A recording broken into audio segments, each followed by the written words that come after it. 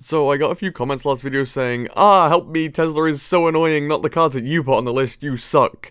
Thanks, thanks for that one, boys. But it made me think, how do you actually counter a Tesla? Well, its strength come in the amount of damage it does. Alone, the Tesla does DPS of 3 bats. This doesn't sound too crazy, but considering it's a building, this is a bunch. The huge benefit to being a building is that it can pull units into both towers' ranges, effectively giving the Tesla an extra 300 DPS onto it equating to 450 DPS, which is the same as a level 6 P.E.K.K.A. It attacks once every second with the ability to one-shot minion swarms and two-shot things like archers themselves. One thing that separates it from other buildings is the ability to hide. This means that it can't be played into or be murdered by spells. This is particularly annoying because you have to then go play into it, and it seems like there's no counterplay. However, Tesla has one core weakness, its health. It only has 964 health, meaning it essentially dies after lightning due to its countdown timer. This is fine for troop interactions too. Most spells will bring its HP low enough to be one-shot by your attacking unit. If the Tesla is placed high up, you can use a range unit to engage the Tesla and pop its health down,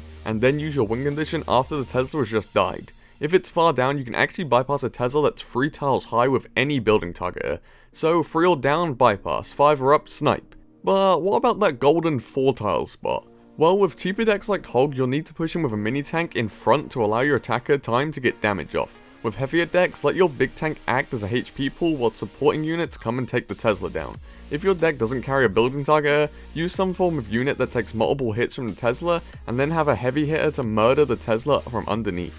If Tesla is ever in every meta deck, you can even build around it quite easily. Win conditions like Miner, Goblin Barrel, Graveyard aren't affected by the Tesla as they zoom on around the sides. Some cards are insanely good against Tesla as they can get right into its stupid little face real quick and do a ton of damage. Best examples of this are Royal Ghost and Bandit, as they have special abilities that come right into Tesla and kill it. Other simply just fast, high damage cards work well also. So yeah, there's actually a video based on the comments of the last one. If you boys want to overwhelmingly give me another topic, I'll visit that for sure.